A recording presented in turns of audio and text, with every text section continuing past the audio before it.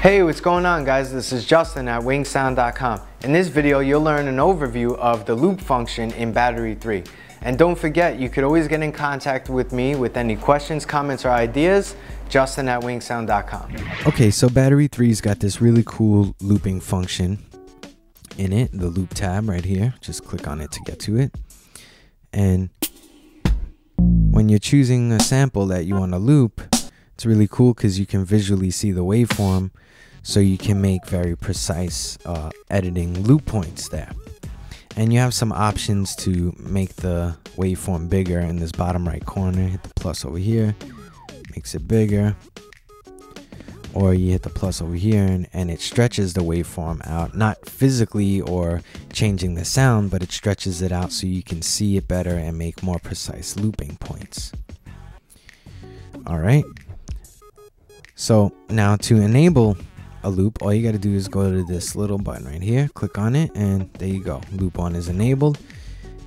You do loop 2, enabled. You have up until four options to do four different loop points. Then you can play the loop right here. And you have the loop mode.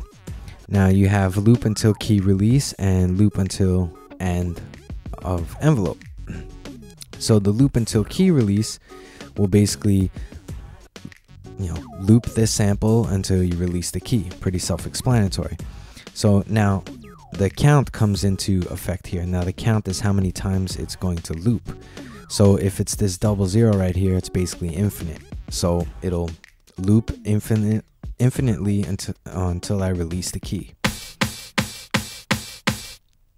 All right, and then if I bring it down to let's say seven, and I'm gonna hold down the key, and it'll play seven uh six times, and then stop looping. All right. Then you have another option, uh, loop until end of envelope, as I said before.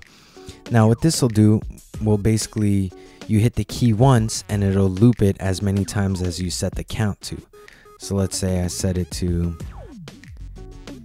10. I hit the key once and it's going to loop 10 times and then stop.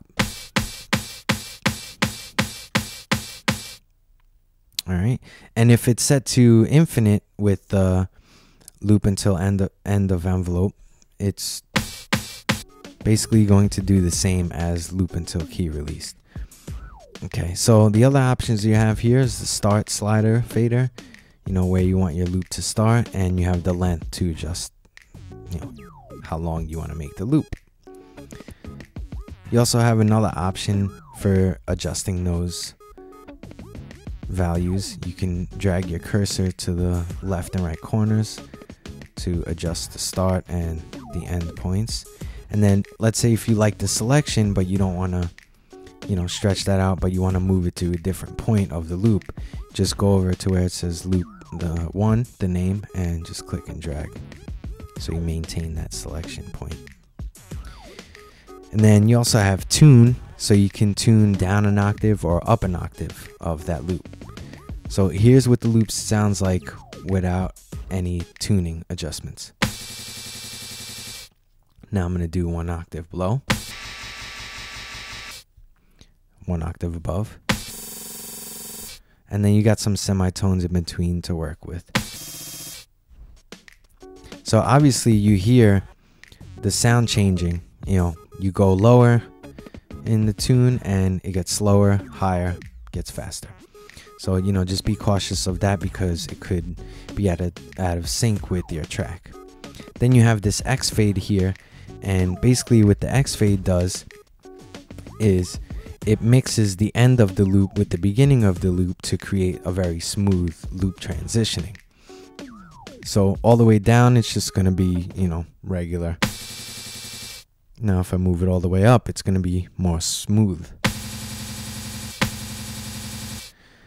You know, it's less like that transient hit.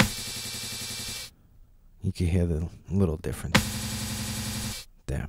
So that's up to you, you know, and these numbers here is samples. You're adjusting the samples.